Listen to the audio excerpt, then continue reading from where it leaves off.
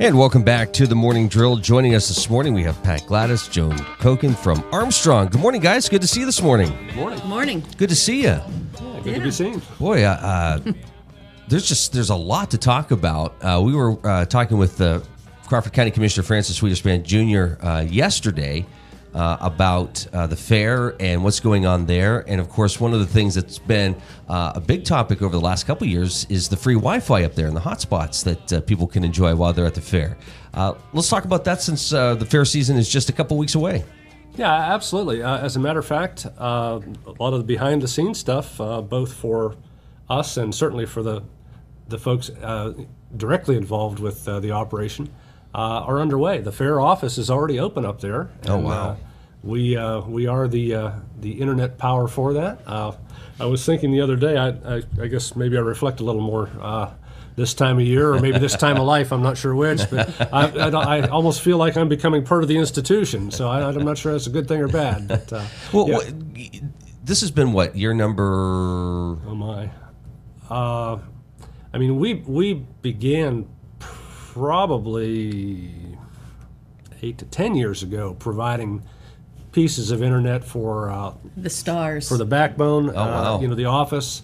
Uh, it, it became a requirement for the talent in their contracts that they had to have whatever green M and M's and internet service. Right. Uh, so uh, that was how it kind of uh, started, and then it's evolved into uh, as the opportunity uh, and the interest uh, also evolved into the Wi-Fi project. Uh, and that started small, and it's uh, gotten to where we uh, we cover a significant portion of that. Whatever I think it's a 67 acre fairgrounds with uh, with Wi-Fi now. So was that a fun challenge, or was it a? Yeah, it, it was for, for, for me and my team. Uh, it really is because we we a lot of times we're on maybe even the bleeding edge of technology, not just the cutting edge. So we get to push the envelope and we uh, get uh, things and maybe try to use them and abuse them and get them to the edge of the envelope. Uh, it's a big Wi-Fi area. Uh, everybody knows that Wi-Fi has you know, puts and takes, uh, you know, with it, and to try and get that uh, just up and running and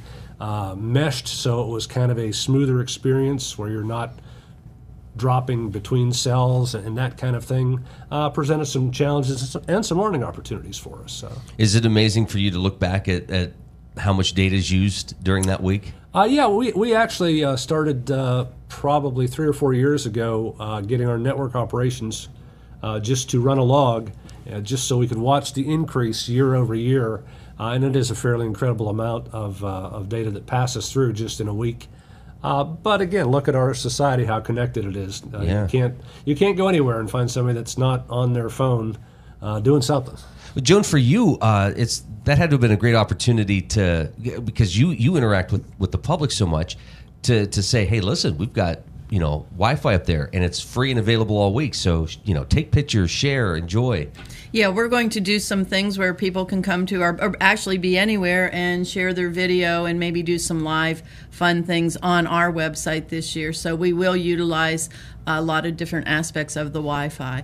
I guess um, again, kudos to Pat because every year when I'm at the booth, someone will come up and say, "Well, I was in the bunny barn, or I was down in amidst all these metal, you know, the campers."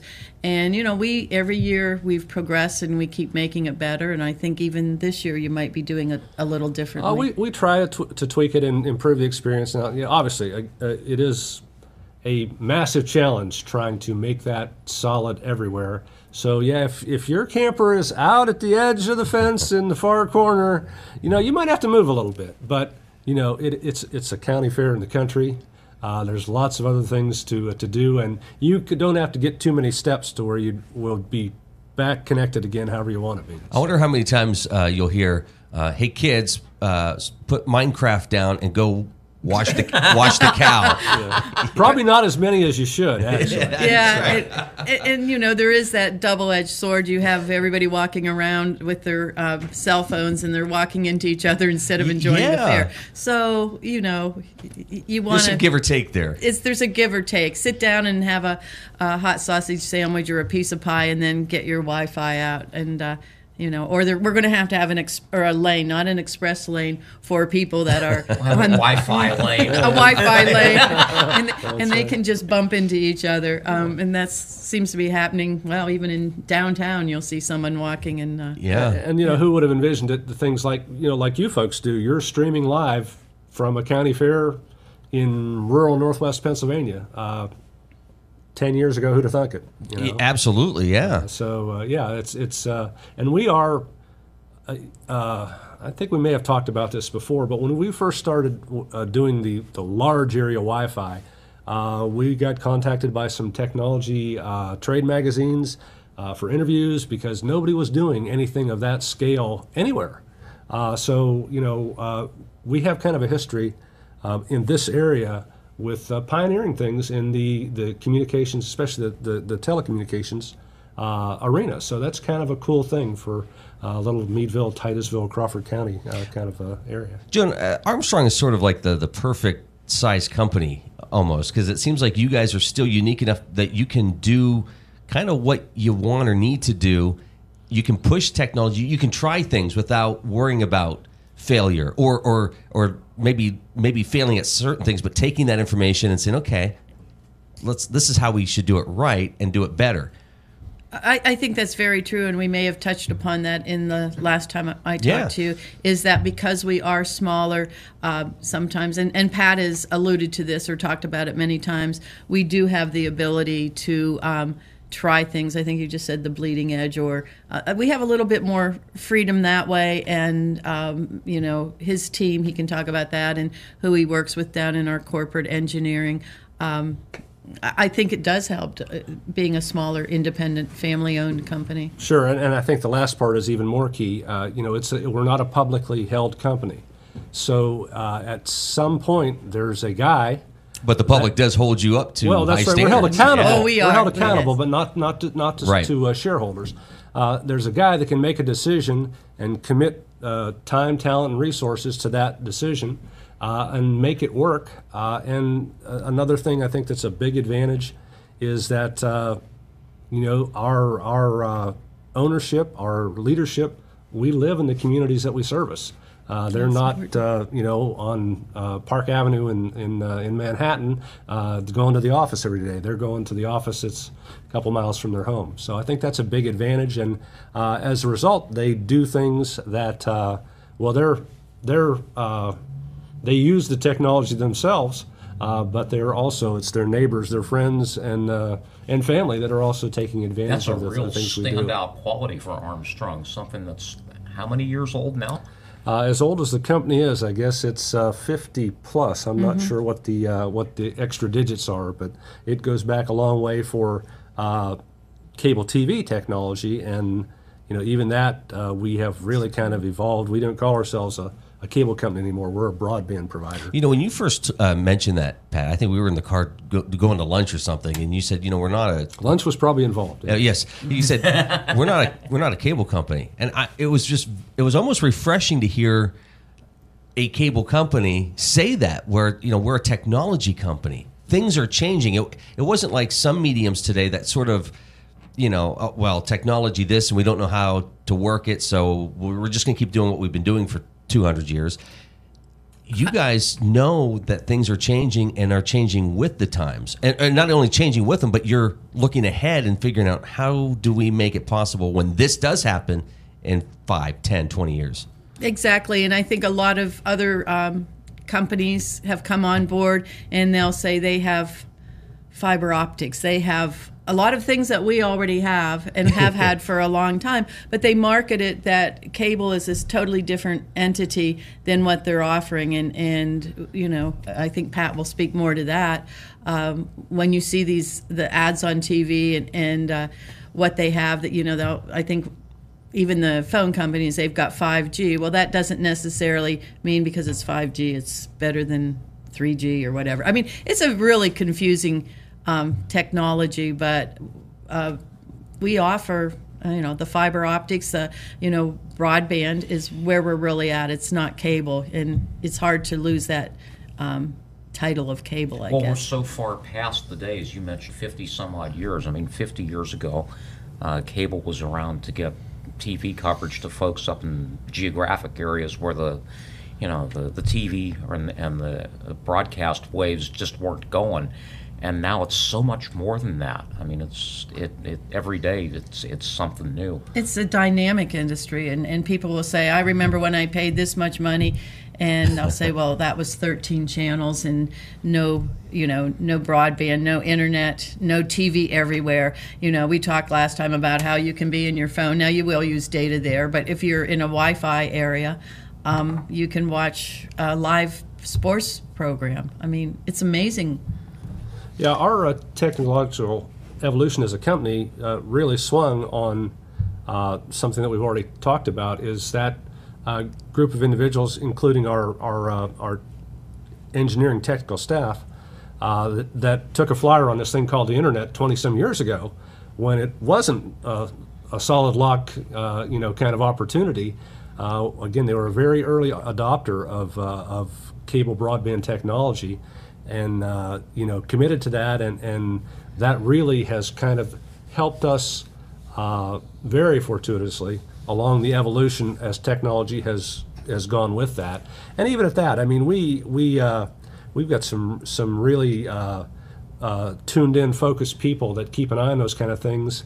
Uh, look how life is changing. We watch TV differently than we did five years ago. Yeah. And you know that's continuing to change. Uh, and we're seeing, uh, you know, really kind of a, an earthquake in, in that whole uh, industry of, of how how people want their television delivered, how they want to use that product. Yeah, it's fascinating, not only the entertainment aspect of it, but information. Uh, you see people moving back to small communities because they're allowed to work from home, but they have to have the infrastructure in place to be able to do that. And that is in place, whether it's high speed internet or and we're going to talk about this now fiber. I mean everybody's talking about you know faster speeds and you know fiber this fiber they might not know what they're talking about but you guys have said we have this in place. It is in place. So let's talk a little bit about that. What is what's the difference when they go on the site and they look and start reading about the different speeds that they can get whether personally or for business?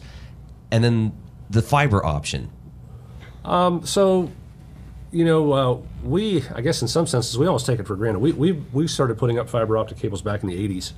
Uh, wow. Uh, and even though we talk about our cable modem services and products uh, that, that come the last mile or the last step into the house over uh, a coaxial network, uh, we've had a fiber backbone for our networks since that time going forward. one of the things that we're, we're finding now, especially with, with business needs, is certain applications and certain uh, data traffic. Uh, well, for an instance, so let's say uh, a medical center, they have requirements to protect my data and to make sure that it is uh, secure. So uh, things like a, a, direct fiber optic connection for an entity like that becomes something that they become very interested in. And with the technologies that have the way they've changed, uh, you know, the prices on that kind of uh, operation has come down where it's uh, affordable, day to day affordable. Uh, the example I always think of is, I, and again, I'm going to date myself. I remember when uh, handheld calculators first came out. Texas Instruments had one that was a couple hundred bucks. Uh, and 10 years later, you could get one by turning in cereal box tops. so as technology, you know, becomes more commonplace uh, and more ubiquitous, the price comes down. And fiber optics is, is definitely in that uh, arena. Matter of fact, uh, once again, we're, we're a company that committed to the idea. Most of our uh, reconstruction that we do, uh, there is no coaxial hardline out on the poles anymore. We're bringing a fiber optic cable, a fiber optic network into the area, into the neighborhood, right to your house.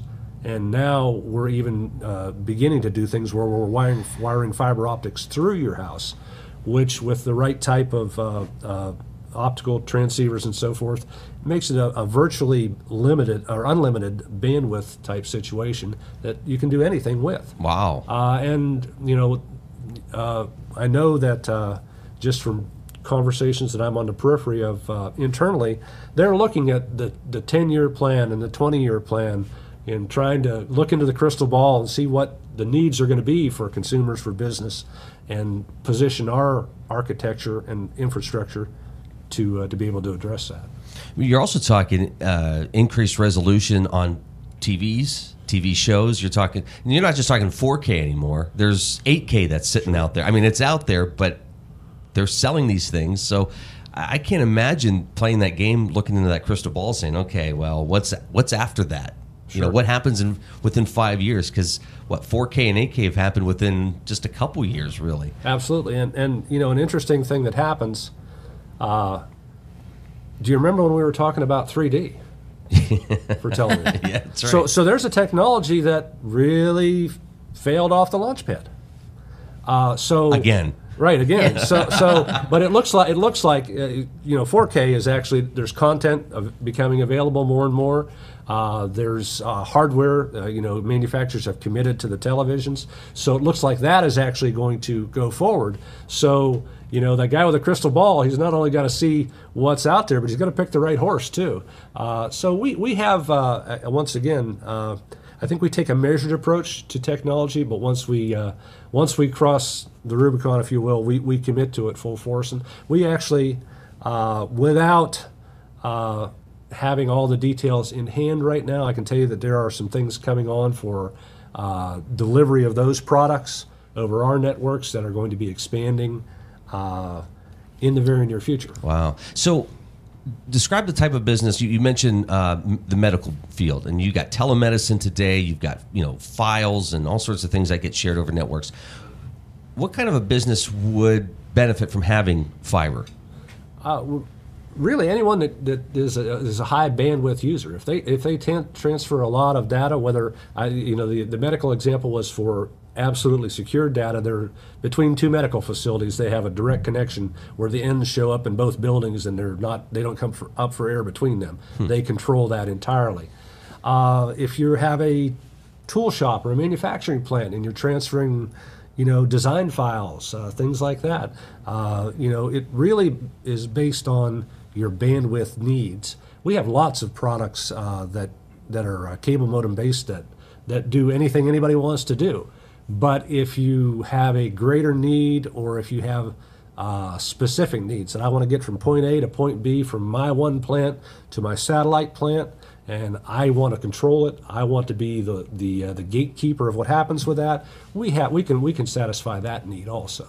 So uh, yeah, it's really it's limited only by uh, a business's need and uh, somewhat by their uh, their appetite. It, it's you know a dedicated fiber link is a little more expensive product, but it, you have to decide is the value in that for your business, uh, and many times uh, many times folks are making that choice now.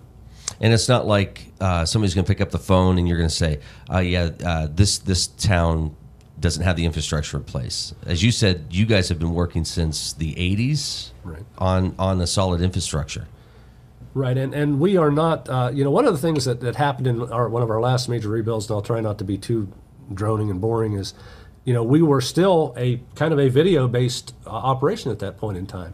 So somewhere down in the business quarter, there's a break point where we didn't get fiber all the way down to the end of the road, uh, but we have our own construction departments, and, and we, we go out and put up fiber all the time just to serve your business need if, if, if that's the agreement and the commitment we come to uh, we can get to you and we can you know we can uh, we're not we're not shy about building to uh, make the business work for both of us. Now, for uh, Joan, uh, I would imagine those businesses need to contact Armstrong, and then they'll be sent to the business department or Yes, we have uh, our rep, uh, Dante Tiani, um, is with Armstrong Business Solutions. All of our information and breakdown of our corporation is on, on Armstrong One Wire, so you can go up and, and um, pull down the Armstrong Business Solutions, see all the different options, pricing, download speeds, upload speeds, everything I guess you really need is on our website. So they can go there, get the information, Mm-hmm. and then go ahead and make the call and get something uh, set up and scheduled. Yeah, and we have we have live chat now, um, which is is real nice for the residential. I don't believe the business end, but and you can also order online, and that's becoming um, a pretty popular way to get some of our products. Fast too. I mean, if you want to upgrade a service, you can go into your account. There, there's so much you can do within the website and your account that makes it so much easier. Yeah, you might want to go from our, our Zoom to our Zoom 2 and try it. And a lot of times uh, when you go to the site, there may be an introductory offer to go to the next speed. And, and so um, I really recommend people go to Armstrong One Wire. There are also videos that will um, explain a lot of different things. It will explain TV everywhere, downloading apps. Um, so we've got a lot of information on there and really need to direct people onto that site more. All right. Well, thank you guys for coming in. I have a feeling we're going to see you at the fair Quite I a think bit. so. quite a bit. I think so. Yeah. no, it's always great conversation. I'm not going to ask you because I know we ask you every year what your favorite part of the fair is. But so we'll save those questions for when we're at the fair. But thing. if folks do have questions about fiber, uh, any of the services that you guys provide, they can contact uh, the, the the company by going to the website and getting that information and making the call. Sure, and we love to see people uh, up in uh, Home Show Building Number One Yes, uh, at the you. fair. We uh, we I think we try to secure a same spot where we can be found. Uh, so uh, come see us up there, and we usually have uh, some uh, Giveaways yeah, and some uh, giveaways and some. Uh, we'll be promoting Healing Heroes again all through the fair, and uh, just come see us. And I believe uh, Kevin Tomini said that uh, he's baking all sorts of cookies to, to hand out at the fair. Well, first of all, you said Kevin talked, and he's baking cookies into one sentence. So uh, Kevin will eat cookies. you may see see him down at uh, at uh, the uh, some of the Thunder Thunder in the City events.